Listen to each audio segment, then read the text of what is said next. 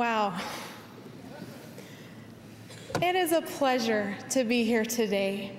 Thank you so much for coming, even in the rain. I just can't believe it.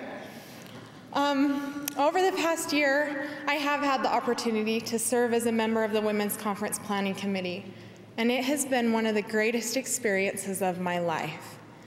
I love the women with whom I have served and have been so impressed with how much work, effort, and prayer goes into making this conference possible.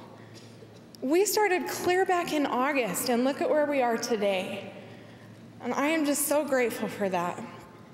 I'm grateful to be here at such a time as this. Thank you again to all involved. También queremos dar una bienvenida a todos que hablan el idioma celestial. Nos sentimos muy agradecidos de estar con ustedes en esta conferencia y gracias por venir. This is actually my first time attending. Unlike my dad, who's come many times, um, actually, he one time he was clear up there, and as women would try to get past him, they would trip over the big briefcase that he always carries. And he finally said to the lady next to him, This is so embarrassing. I'm one of the only men here, and I have the biggest purse. It's true. I, I have been able to be here before, and I've loved every minute of it. What a day we've had today. It wasn't enough to just have thunder. It wasn't enough to just have lightning. It wasn't enough just to arrive in the rain. No, then we had to have hail.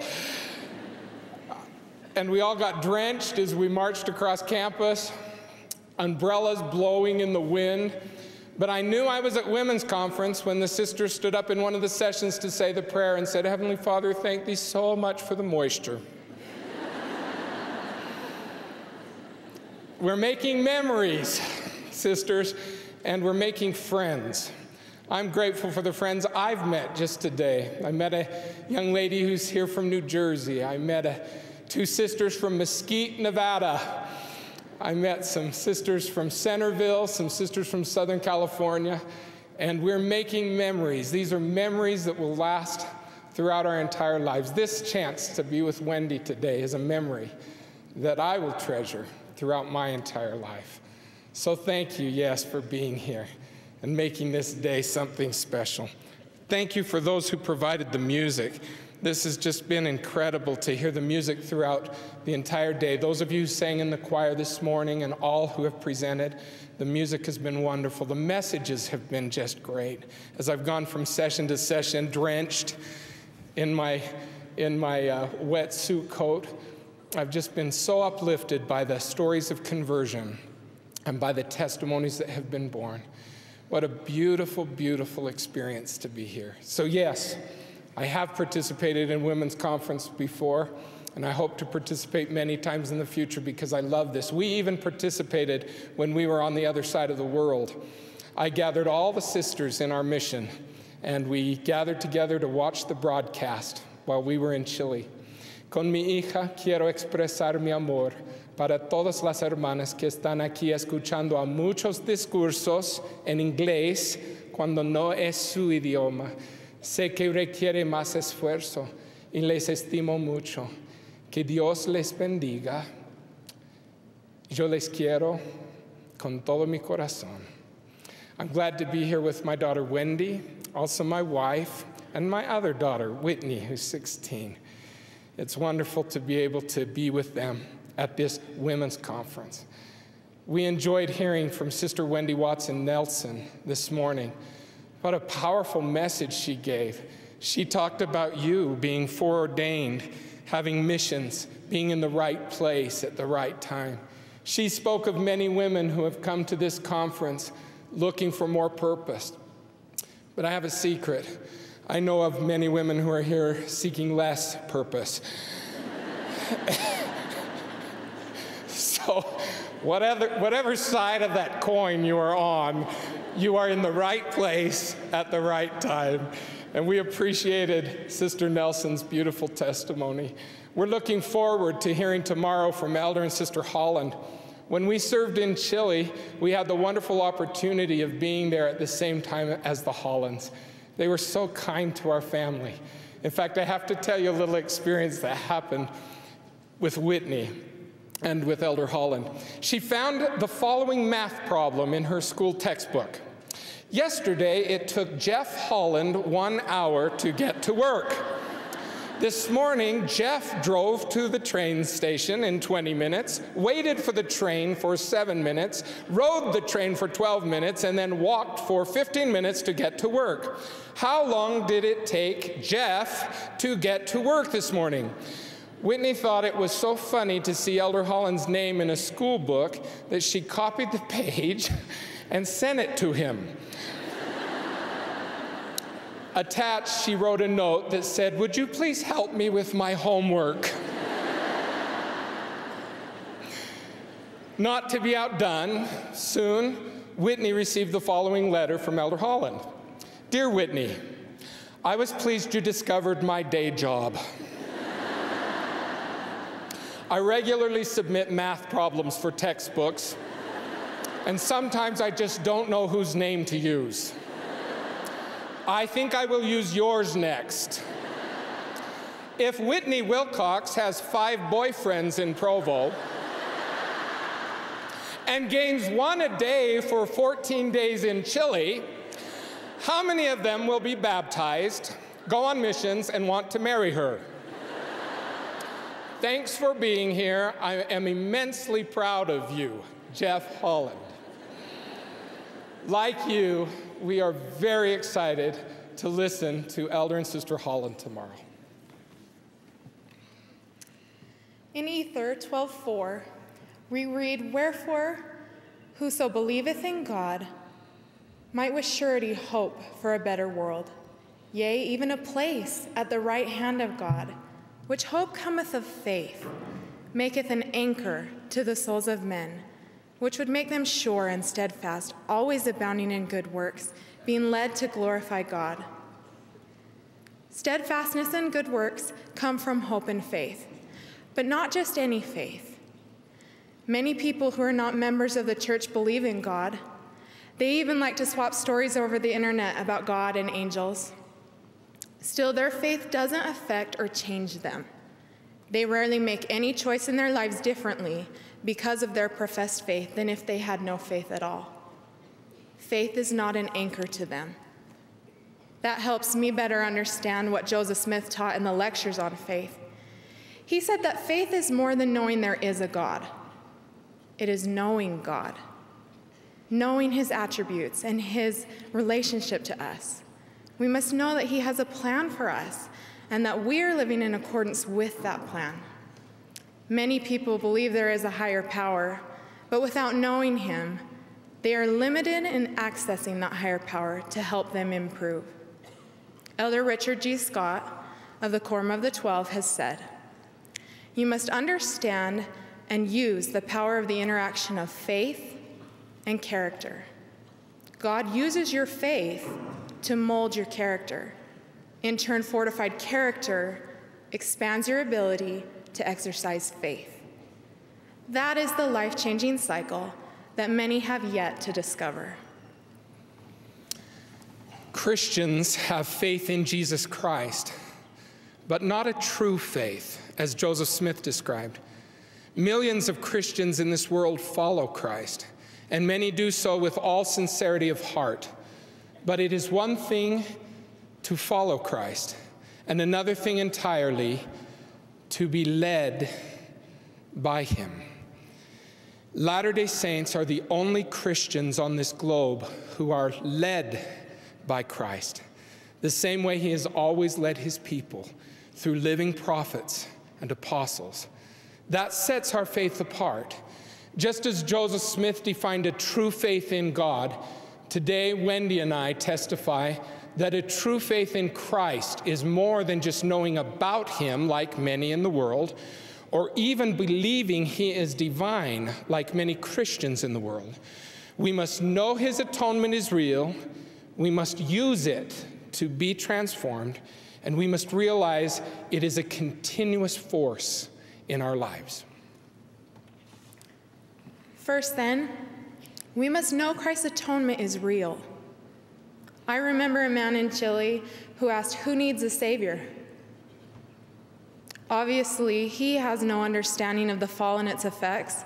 He certainly doesn't understand the precariousness and limited duration of his present state. Perhaps this man has not yet felt the sting of death, but he will. Perhaps he has justified and rationalized his sins for so long that he doesn't feel the sting of guilt, remorse, and shame. But he will.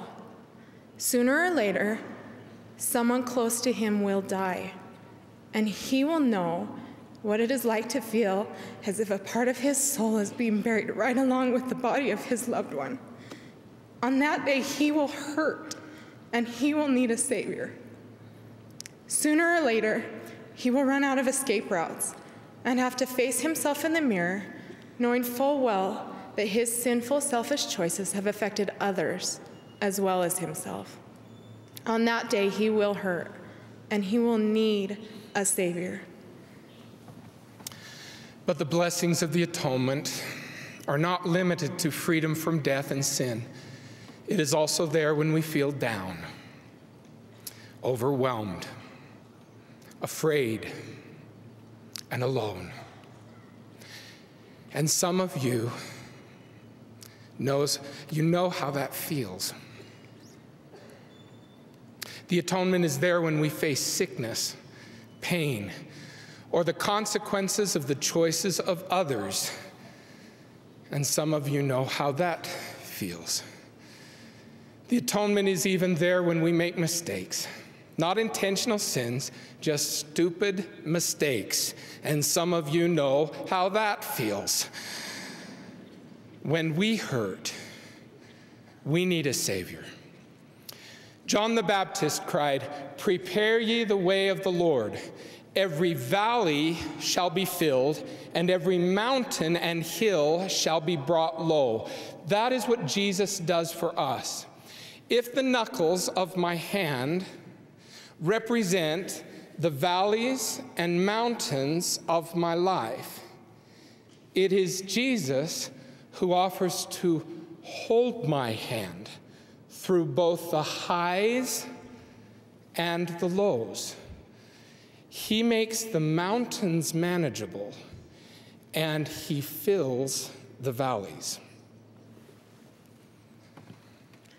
I had a religion class here at BYU taught by Guinevere Woolstenhulme, who may be here today, and she was a fabulous teacher. She told us that the word atonement comes from an ancient Hebrew word, kafar, which means to cover. Isn't it interesting that when Adam and Eve discovered their nakedness in the Garden of Eden, God sent Jesus to make coats of skins to cover them. Coats of skins don't grow on trees. They had to be made from an animal, which means an animal had to be killed. Perhaps that was the very first animal sacrifice. Because of that sacrifice, Adam and Eve were covered. And in the same way, through Jesus' sacrifice, we are also covered. When Adam and Eve left the garden, the only things they could take to remind them of that place were the coats of skins. The one thing we take with us out of the temple to remind us of that heavenly place is a similar covering. I'm always surprised when I hear women say that they don't like their garment or that they don't think it is feminine enough. The garment reminds us of covenants, protects us, and even promotes modesty. However, to me, it is much more. The garment is a powerful and personal symbol of the atonement, a constant reminder both night and day that because of Jesus, I am covered. But is it enough to know that the Savior sacrificed for us, that his atonement is real? Many Christians know of these realities without fully understanding their complete purpose. Our second point today is that we must use the atonement to be transformed. Jesus did not come only to save us, but also to redeem us. Most of my life, I've thought the two terms were synonymous, but that is not the case. The second question in the Temple Recommend interview is Do you have a testimony of the atonement of Christ and his role as Savior and Redeemer?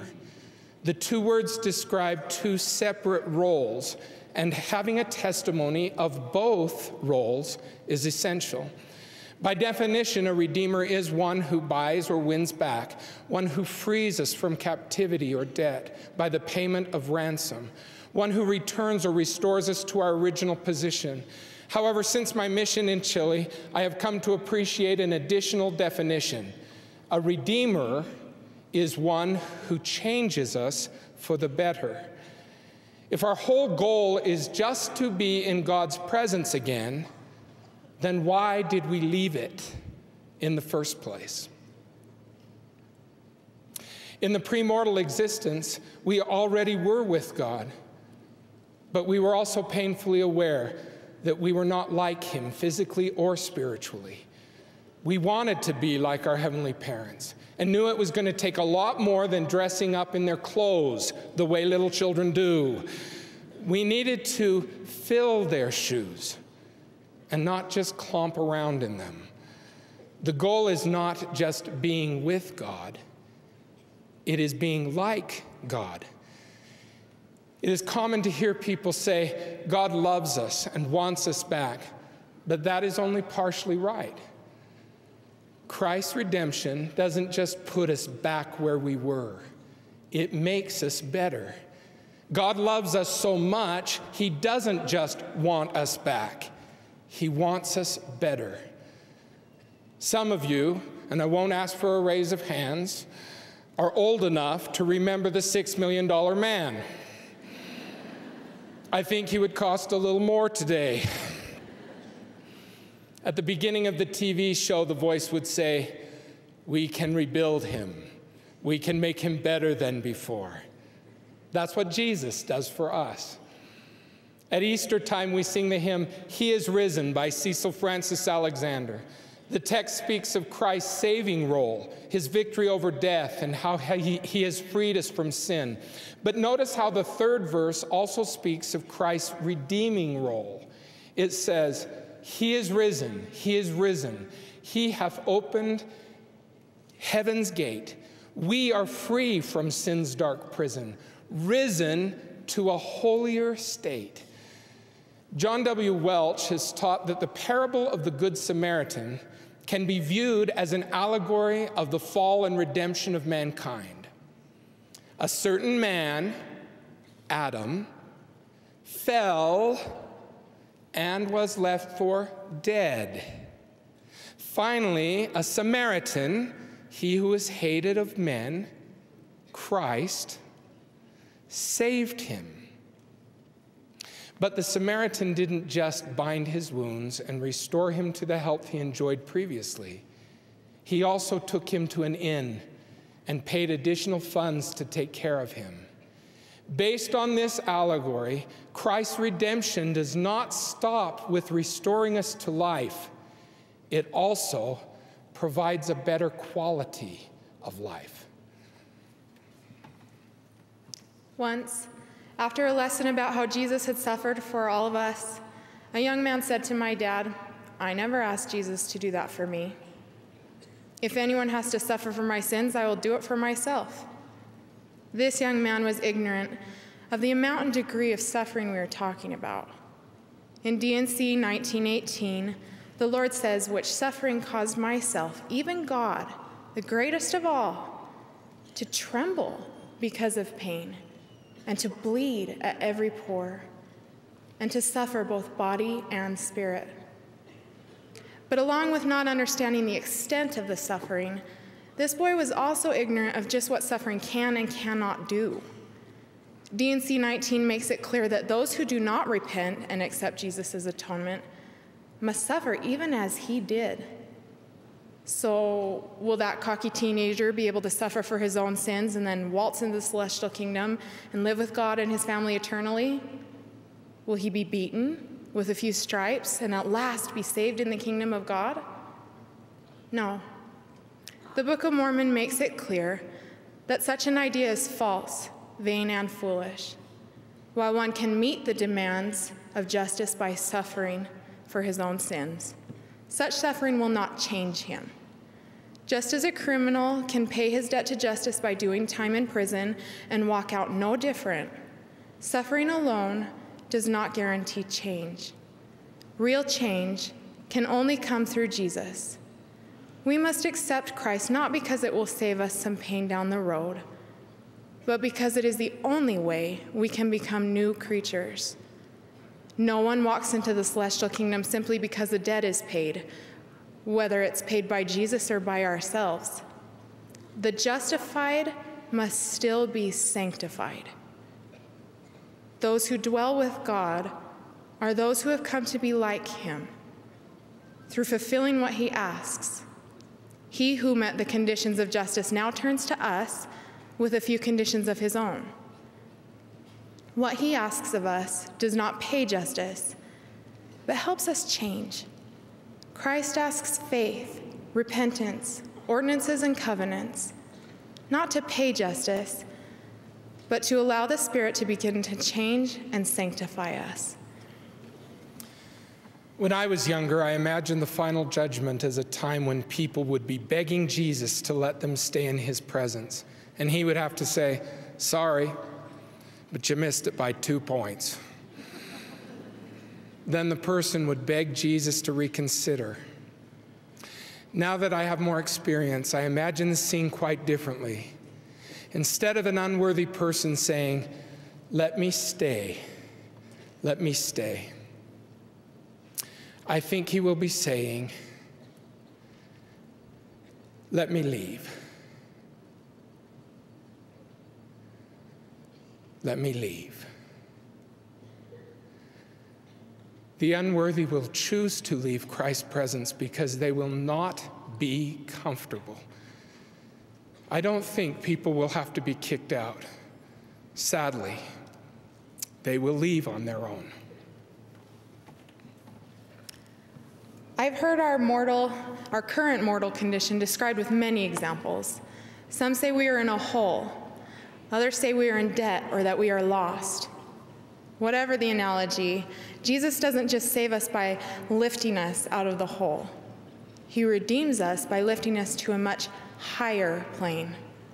He doesn't just save by paying the debt, He redeems us by paying us in addition.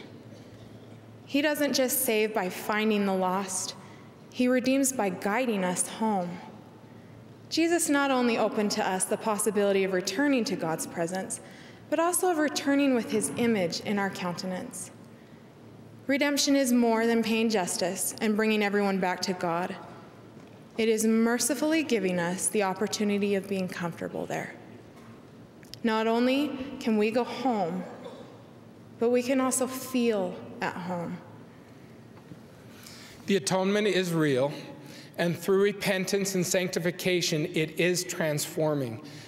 But that transforming change is a process that takes time, a long time. That leads us to our final point, which is that the atonement is a continuous force in our lives. Perfection is the ultimate goal, but we get lots of chances to reach it. Our friend Brett Sanders once pointed out a lesson to be learned when a new priest is blessing the sacrament. The young man is nervous, he messes up when reading the prayer. He knows the prayers have to be perfect, and that expectation can't be lowered. So, what happens when the priest makes a mistake? He looks at the bishop, who nods his head, and the priest simply begins again. Well, what if he stumbles a second time or a third? Does he finally just give up, or is there a, a trap door that opens up and he falls through? No, he just starts again. How many times? As many times as it takes to get it right. When I had the opportunity of serving as a bishop of a BYU ward, a young man came to me to confess, and I mean confess, with a capital C O N F E S S. He unloaded everything he had ever done wrong since elementary school. I heard what he had never had the courage to tell another bishop, stake president, mission president, or parent. While the sins were not of major proportions, they needed to be confessed and should have been taken care of years earlier. You can imagine the young man's relief and joy when he finally let go of all that he had been carrying so needlessly, privately, and personally for so long. We prayed, we reviewed some scriptures together, we discussed the role of confession in the repentance process, and we set some goals for the future. When that young man left my office, he almost floated out of the room. The following Sunday, I looked for him in church but didn't see him. The next week, he wasn't there either. I called his apartment and left messages. Finally, I just went over. The young man answered the door, but he didn't invite me in. His countenance was dark, his eyes were hollow. His comments were negative and sarcastic, revealing his depressed mood. I asked if I could come in and talk with him. He said, Oh, yeah, like that's going to make any difference. His words were cold and hard. Just face it, Bishop. The church isn't true. No one can even prove there's a God. It's all just a big joke, so just stop wasting your time. Oh, wow. From floating on air to the pit of despair, and all in a matter of days. Isn't that interesting? My first reaction was to become angry. I mean, he had no call to be treating me so rudely. I also wanted to, I wanted to defend the truthfulness of the church. I wanted to defend the existence of God. But then I had one of those bishop moments. And instead of raising my voice or quoting scripture, I simply said, You messed up again, didn't you? His darkened expression melted and this young returned missionary began to cry. Between sobs, he motioned me into his empty apartment and we sat together on the couch. He said, Bishop, I'm sorry. I just feel so bad. I finally repented. I was finally clean. I finally put it all behind me. I finally used the atonement and it felt so good. Then I blew it all over again. Now my former sins have returned, and I feel like the worst person in the world. Oh, I said, so the church is true. there is a God after all. He said, Of course. I said, So you just need another chance. He said, But that's the problem. D&C 5843. By this may ye know if a man repenteth of his sins. Behold, he will confess them and forsake them. I confessed, I didn't forsake, so I didn't really repent. It's over. I said, Tell me about the Savior's grace then. He said, Oh, you know, 2 Nephi 25 23. We are saved by grace after all we can do. We do our best, then Christ makes up the difference. But I did that and it didn't work. I still went out and did the same old dumb thing. I blew it. Nothing changed. I said, Hold on. What do you mean? Christ makes up the difference. Christ doesn't only make up the difference. He makes all the difference. He requires us to repent, but not as part of paying justice, only as part of helping us to change. The young man said, Wait, I thought it was like buying a bike. I pay all I can, and then Jesus pays the rest. I said, I love Brother Robinson's parable. He has helped us all to see that there are two essential parts, and both parts must be completed. But I think of it more like this Jesus already bought the whole bike. The few coins he asks from me are not so much to help pay for the bike but rather to help me value it and appreciate it. The returned missionary said, Either way, doesn't matter since I just crashed the bike. So much for grace. I said, Wait, what do you mean? What do you mean, so much for grace? You think this is just a one shot deal? Don't you realize that Jesus has a whole garage full of bikes? Knowing that Christ makes the difference doesn't mean much unless we also realize how often He does it. The miracle of the atonement is that He will forgive our sins, plural. And that is not just multiple sins, but also multiple times we commit the same sin. Oh, of course, we don't condone sin. Joseph Smith taught clearly that repentance is a thing that cannot be trifled with every day. Still,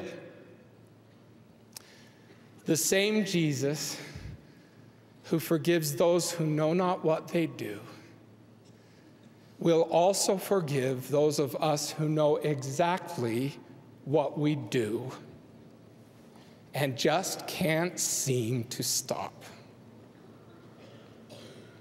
I said to the return missionary, Christ commanded us to forgive others 70 times, seven times.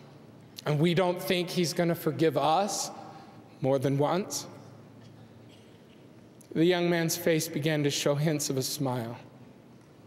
He said, What you're saying is that there's still hope for me. I said, Oh, now you're beginning to understand grace. In 1 Corinthians 15 9, we read that there is always hope in Christ. Elder Neal A. Maxwell called the gospel inexhaustible. Isn't that a great word? My mom loves words. That's one that's right at the top of her list. Inexhaustible. Perhaps that's a good word for the atonement as well. The inexhaustible atonement. We hear many words associated with the atonement. We hear it is infinite, eternal, everlasting, perfect, divine, incomprehensible, inexplicable. We even hear that it is personal and individual. However, there is another word that must be more closely associated with the atonement if we are ever going to maintain hope in this world full of addictions. And that word is continuous. The continuous atonement. In Preach My Gospel, it says, ideally, repenting of a specific sin should be necessary only once. However, if the sin is repeated, repentance is available as a means of healing. Repentance may involve an emotional and physical process. So, next time a priest in your ward has to begin the sacrament prayers again, next time he has to start over, just remember that is what the sacrament is all about. That is what the atonement is all about the continuous atonement. Verbal expressions of belief or faith can't save us. True faith always results in faithfulness. True faith in Jesus Christ is trust in, confidence in, and reliance upon the atonement. We must know it is real, that its purpose is to transform us, and that it will be there as long as that perfecting process takes. It is, as my dad says, continuous. With that testimony, we, like the returned missionary my dad spoke about, can surely hope for a better world, yea, even a place at the right hand of God. That is the hope and true faith that becomes an anchor to our souls. When we, or those we love, are stuck in cycles of compulsive behavior, and we say, I'll never do it again. And then we do it. And then we say, I'll never do it again. And then we do it. And then we say, This is so stupid. I will never do it again. And then we do it. There is always hope. We don't have to pretend there is no God. or desperately try to find reasons why the church isn't true so that we can avoid change. We don't have to seek out others who are struggling so that we feel justified, or hate those who aren't struggling so that we can feel better. We don't have to even hate ourselves. And some of you here know how that feels. We don't have to hate ourselves.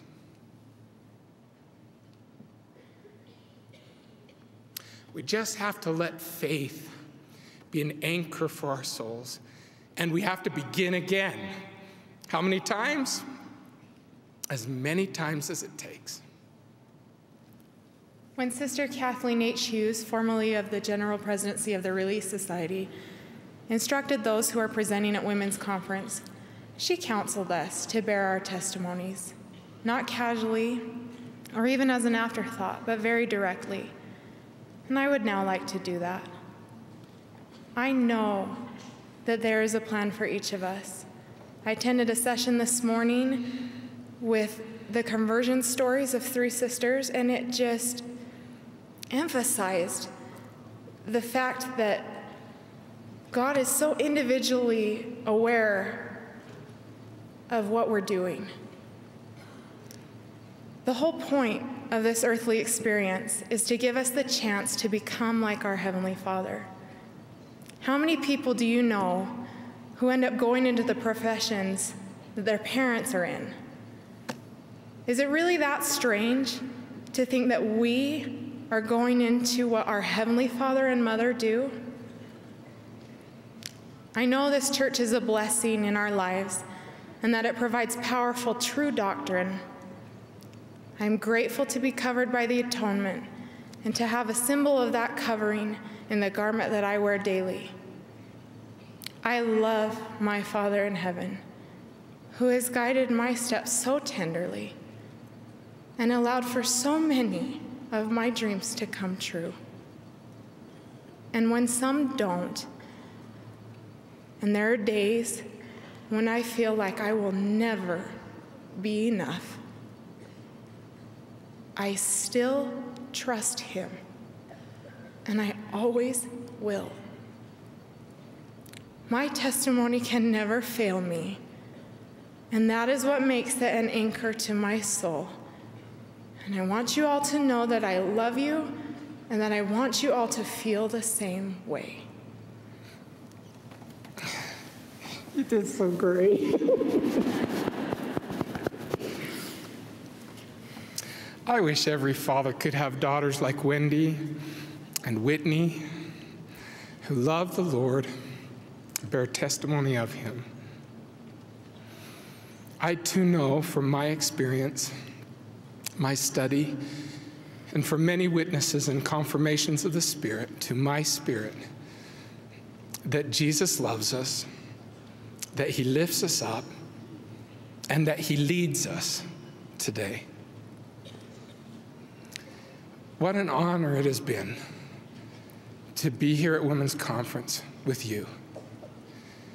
When we prayed this morning to ask for the Spirit to be with us. I never,